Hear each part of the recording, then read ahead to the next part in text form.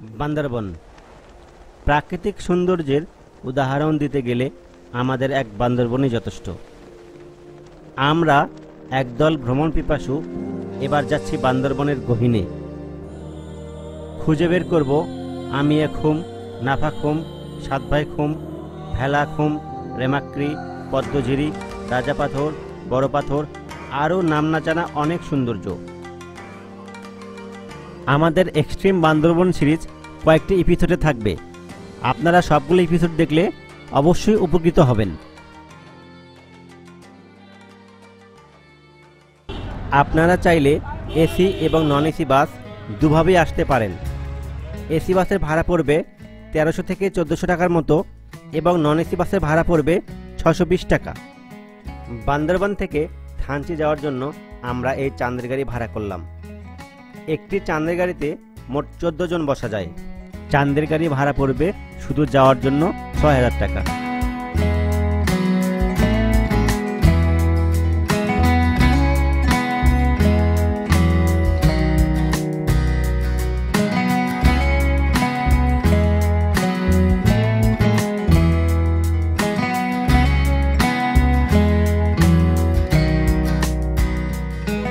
বান্দরবান থেকে থানচি যাওয়ার পথে আপনারা কোথাও সময় নষ্ট করবেন না। কারণ থানচি যাওয়ার পথে অনেকগুলো চেকপোস্ট আমাদের পার হইতে হবে। এবং বিকাল সাড়ে তিনটার মধ্যে আমরা যদি বলিপাড়া চেকপোস্ট পার হইতে না পারি তাহলে আজকে আমরা আর থানচি যেতে পারব না। পেঁপের আসল স্বাদ। না একদম ন্যাচারাল এটা কাটেন এটা কাটেন। ডাবের পানি খাচ্ছি আরাম পাচ্ছি।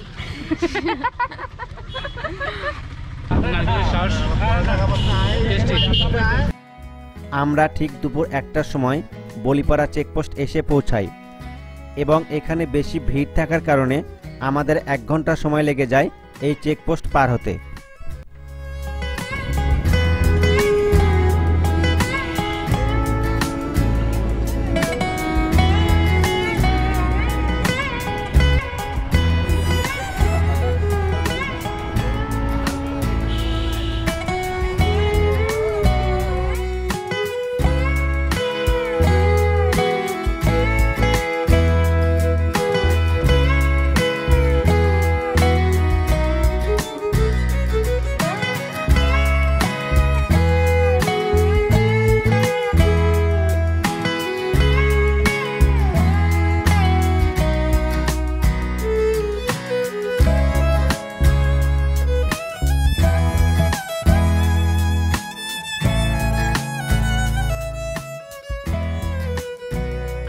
আলহামদুলিল্লাহ। আমরা দীর্ঘ চার ঘণ্টা জার্নি করার পরে থানচিতে এসে পৌঁছলাম।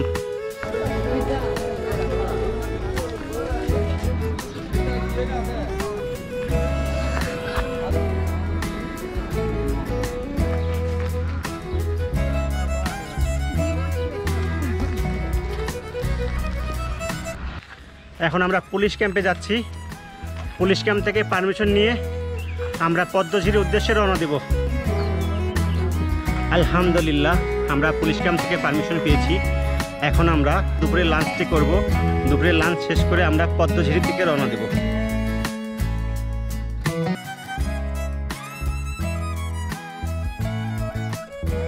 বিজিবি ক্যাম্পে মুরগি দিয়ে দুপুরে খাবার পড়েছিল একশো ষাট টাকা। আমরা এখন থানচি বাজারে বারবিকি করার জন্য মুরগি কিনতে যাচ্ছি। আমরা থানচির সব ফর্মালিটি শেষ করে এখন নৌকাতে উঠব আমাদের এক্সট্রিম বান্দরবন ট্যুরের জন্য। আমরা টোটাল চোদ্দ জন আছি। আমাদের মোট তিনটি নৌকা লাগবে। একটি নৌকাতে পাঁচজনের বেশি বসা যায় না।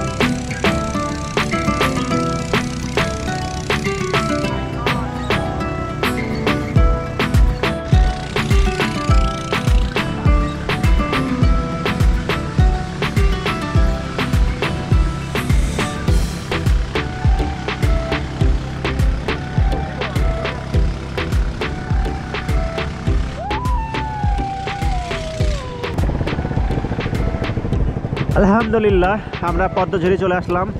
আমাদের সময় লেগেছে পঁয়ত্রিশ মিনিট। ভালো লাগছে আমরা এখন পদ্মঝুরি ট্রেল ধরে থুইচাপাড়ার দিকে রওনা দিব।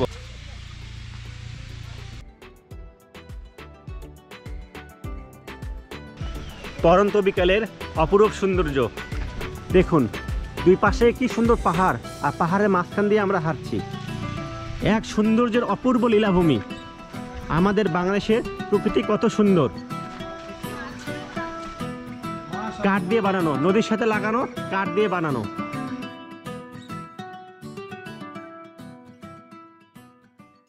যারা এক্সট্রিম ট্যুর পছন্দ করেন, তাদেরকে অবশ্যই বলব আপনারা আসেন বান্দরবনে। পদ্মঝিরি থেকে আমাদের থুইসাপাড়া যেতে সাত থেকে আট ঘণ্টার মতো সময় লাগবে। এরকম ঝিরিপথ দিয়ে আমাদের হাঁটতে হবে। অনেক রিক্সি রাস্তা এগুলা। দেখে দেখে পার হতে হবে।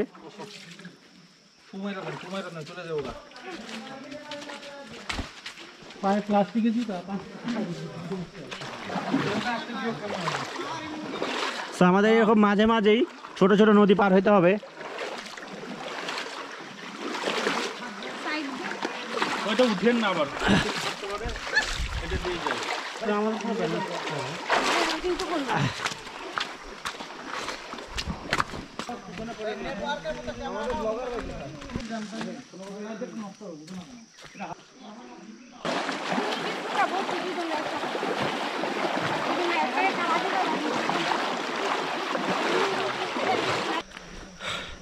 আসলে ঝিরিপথ দিয়ে হাঁটার মজাটাই আলাদা। আপনি ক্লান্ত হবেন আর মাঝে মাঝে পাটা পানিতে ভিজিয়ে নেবেন। পাটা পানিতে ভিজিয়ে নিলেই শরীরে আবার নতুন করে রিফ্রেশমেন্ট সব ক্লান্তি মুছে যায়। পরন্ত বিকেলের ভিউটা আসলে অসাধারণ। হাঁটছি কিন্তু কোনো ক্লান্তি লাগছে না।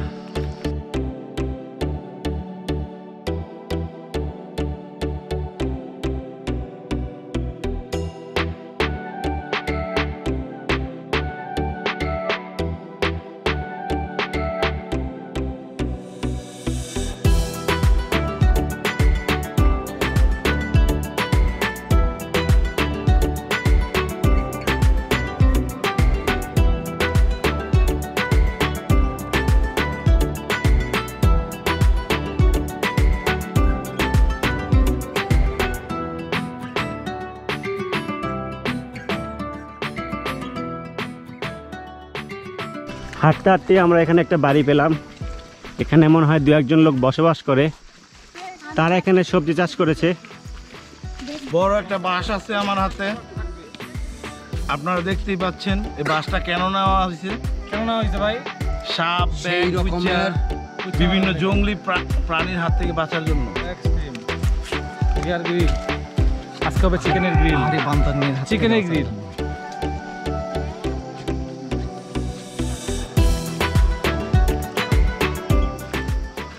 প্রায় দেড় ঘণ্টা হাঁটার পরে আমরা একটি পাড়া পেলাম। আমরা এখানে দশ মিনিটের মতো রেস্ট নেব। পাড়াটির নাম হচ্ছে রুনাজং পাড়া। মোবাইলটা একটু চেক করতে কই রাখ বিউটিফুল কার হাঁটি হাঁটি হাঁটি।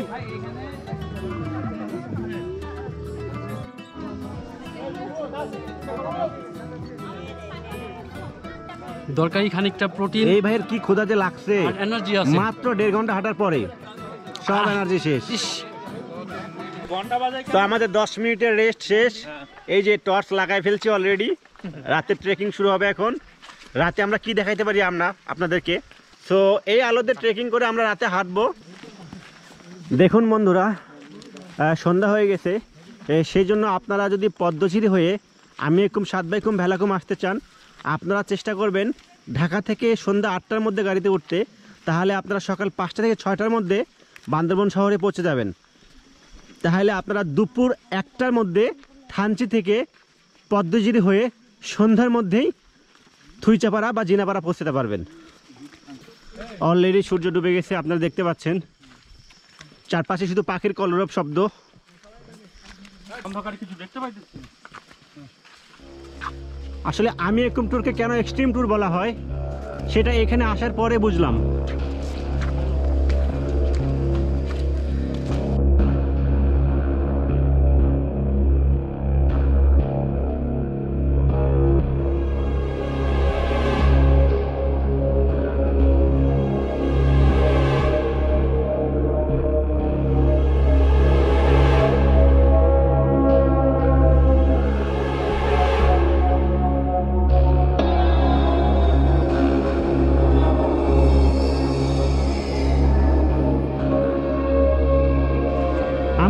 সব থেকে এক্সট্রিম ট্যুর হচ্ছে এটা।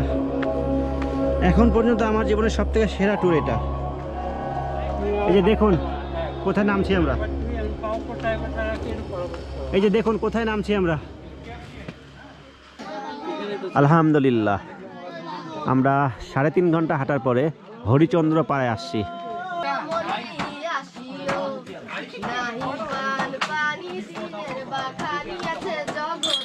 Aşık yolunu mani gidiyor.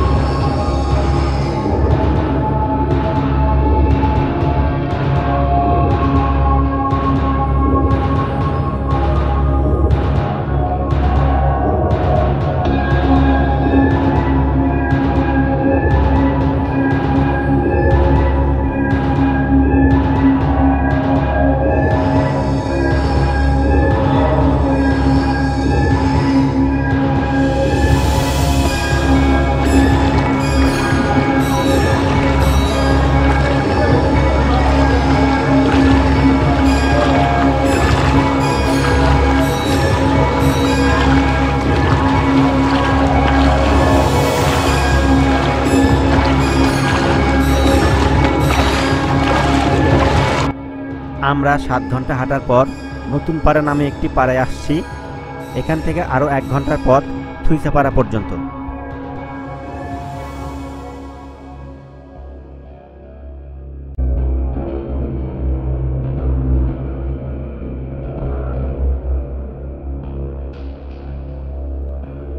এখন রাত এগারোটা বাজে। গাইডের কথা অনুযায়ী আরও সামনে বড় একটি পাহাড় আছে এবং আমাদের থুইসাপাড়া পৌঁছাতে রাত বারোটা বেজে যাবে। আমি আজকের মতো আপনাদের কাছ থেকে বিদায় নিচ্ছি। দেখা হবে আগামীকাল সকালে। যাওয়ার আগে আপনারা অবশ্যই আমাদের চ্যানেলটি সাবস্ক্রাইব করবেন এবং পাশে থাকা বেল আইকন প্রেস করবেন। খোদা হাফেজ। আসসালামু আলাইকুম।